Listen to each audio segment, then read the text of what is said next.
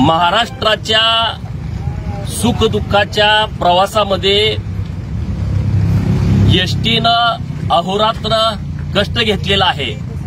परंतु आज त्याच एसटीचा चालक आपल्या जीवनाचा प्रवास संपवत आहे ही महाराष्ट्रासाठी लाजीरवाणी गोष्ट आहे. महाराष्ट्रातील सर्व एसटी कर्मचाऱ्यांना माझी नम्रतेची विनंती आहे नम्रतेचं आव्हान आहे की असं टोकाचं पाऊल तुम्ही उचलू नका.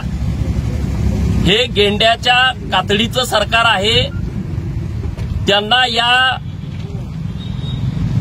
कर्मचाऱ्यांचे अश्रू पुसण्यापेक्षा संघटनेमध्ये फूट पाडून अफरा अफवा पसरवण्याचं काम करतायत. यांना कुठल्या कर्मचाऱ्याचं देणं घेणं राहिलं नाही. अठ्ठावीस मराठी बांधवांनी कर्मचाऱ्यांनी आत्महत्या केलेल्या आहेत. आणि हे सरकार आर्यन खानला वाचवण्यासाठी अख्खं मंत्रिमंडळ कामाला लागलं होतं. परंतु ह्या एसटी कर्मचाऱ्यांचं त्यांना काही देणं घेणं नाही आहे. एसटी कर्मचाऱ्यांच्या बाबतीमध्ये त्यांच्या मनामध्ये कुठलीही चांगली भावना नाही आहे. म्हणून राज्याचे मुख्यमंत्री माननीय उद्धवजी ठाकरे साहेबांना माझी विनंती आहे की तुम्ही पोलीस बळाचा वापर करून हे आंदोलन मोडीत काढण्याचा प्रयत्न करू नका.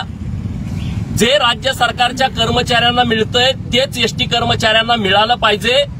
म्हणजेच एसटी महामंडळाचं विलिनीकरण हे राज्य सरकारमध्ये झालं पाहिजे. एवढी एकमेव मागणी घेऊन महाराष्ट्रातील कर्मचारी उत्स्फूर्तपणे संपावरती गेलेले आहेत. तो संप मोडीत काढण्याचं पाप तुम्ही करू नका. येत्या काही काळामध्ये अन्य काही आज सकाळी आत्महत्या झाली आहे. दिलीप खटके नावाच्या चालकानं आजही आत्महत्या केलेली आहे. पुढे जर काही कुठल्या कर्मचाऱ्यांना आत्महत्या केली तर त्याची सर्वस्वी जबाबदारी माननीय मुख्यमंत्री महोदय माननीय परिवहन मंत्री महोदय यांची राहील. त्यामुळं हा संप मोडीत काढण्याचा प्रयत्न तुम्ही करू नका. कामगार महाराष्ट्रातील सगळा एकजूट झालेला आहे आणि आम्ही जोपर्यंत एसटीचं विलिनीकरण राज्य सरकारमध्ये होणार नाही तोपर्यंत हा लढा चालूच ठेवणार आहोत.